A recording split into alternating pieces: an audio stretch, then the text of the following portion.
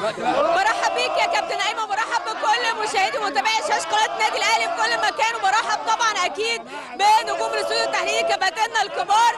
طبعا زي ما أنت شايف من داخل مقر النادي الأهلي بالجزيرة فرحة كبيرة وعارمة. طبعا بتسيطر على المقر الرئيسي هنا بالجزيرة رباعيه أهلاوية في ليلة سعيدة على كل جماهير النادي الأهلي في كل مكان.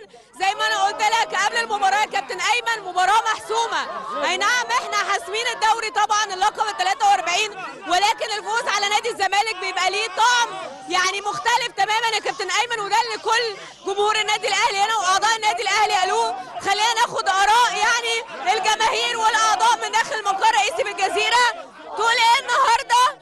ماتش مهم جدا. أي نعم حاسمين الدوري ولكن الفوز على نادي الزمالك ليه طعم مختلف تماما. أنا ببارك في الأول للكابتن محمود الخطيب والإدارة والجهاز الفني كله واللعيبة موسم فعلا موسم مش هيتعوض تاني في كل البطولات اللي خدناها. كل البطولات خدناها الحمد لله. وبشكر اللعيبة جدا. وحسين الشحات ما شاء الله عليه كان فايق النهارده قوي. وبرده بنقول لمحمد مروان عطية بقاء لله في والده. وإن شاء الله يرجع ويحتفل مع اللعيبة إن شاء الله.